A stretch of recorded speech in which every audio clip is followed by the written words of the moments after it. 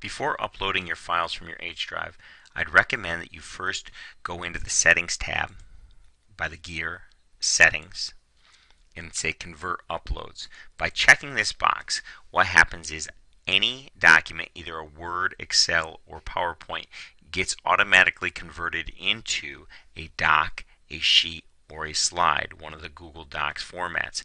In doing so, it automatically processes this transition so that you don't have to go in and convert those files individually every time you open up one of those files. Hopefully this is helpful.